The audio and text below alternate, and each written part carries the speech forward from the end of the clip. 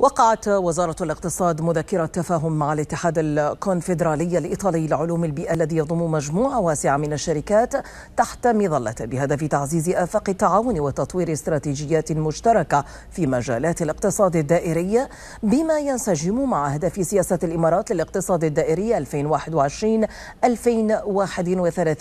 وكذا معالي عبد الله بن طوق المري وزير الاقتصاد عمق ومتانة العلاقات بين دولة الإمارات العربية المتحدة وجمهورية إيطاليا والتي يعززها الرؤى والمصالح المشتركة بين البلدين تجاه جميع القضايا الاستراتيجية على الصعيدين السياسي والاقتصادي.